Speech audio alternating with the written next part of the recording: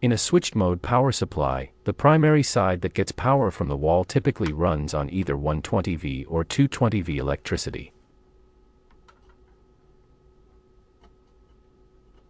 You can find out the shape of the signal in the circuit without physically touching it by using an inductive method. This method is both simple and safe.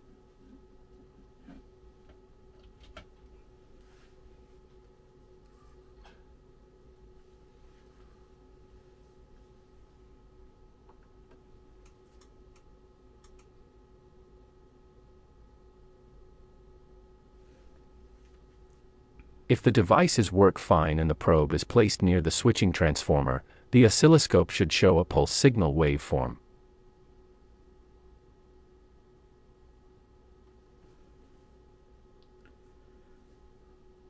If this special signal shows up, it means the input stage and the power switching stage of the switched mode power supply are working okay. If not, there may be a problem with these parts.